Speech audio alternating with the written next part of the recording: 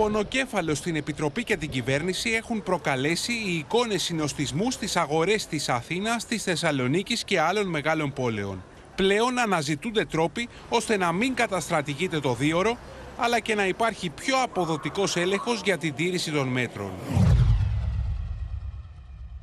Αυτό που εξετάζεται είναι ο πολίτης να στέλνει με SMS τον αριθμό 2 στο 13033 και αντί για ένα απλό απαντητικό μήνυμα να λαμβάνει ένα link το οποίο θα συνδέεται με την πλατφόρμα ή καταναλωτής. Τότε θα ενεργοποιείται ένα χρονόμετρο που θα μετρά αντίστροφα. Έτσι, ο έλεγχος θα είναι πολύ πιο εύκολος. Ο πολίτης, αν το σβήσει, δεν θα μπορεί να το ανανεώσει. Το σίγουρο είναι ότι δεν μπορεί να μπει κόφτης. Αυτό δεν μπορεί να γίνει για πολλούς λόγους. Μας απασχολεί το θέμα του συνοστισμού σε συγκεκριμένες περιοχές το εξετάζουμε με τα συναρμόδια Υπουργεία. Δεν έχουμε καταλήξει αυτή τη στιγμή σε μια λύση.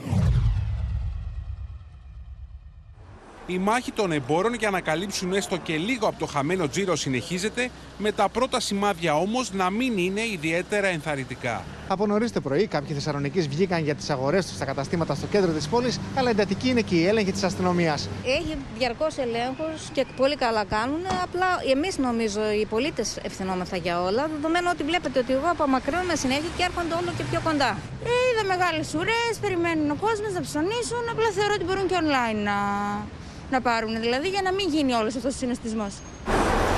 Το ενδεχόμενο ενός τρίτου lockdown και σφραγίσματος της αγοράς ανησυχεί περισσότερο από όλα τους επιχειρηματίες με τους μισούς να δηλώνουν πως κάτι τέτοιο θα αποτελούσε τη χαριστική βολή.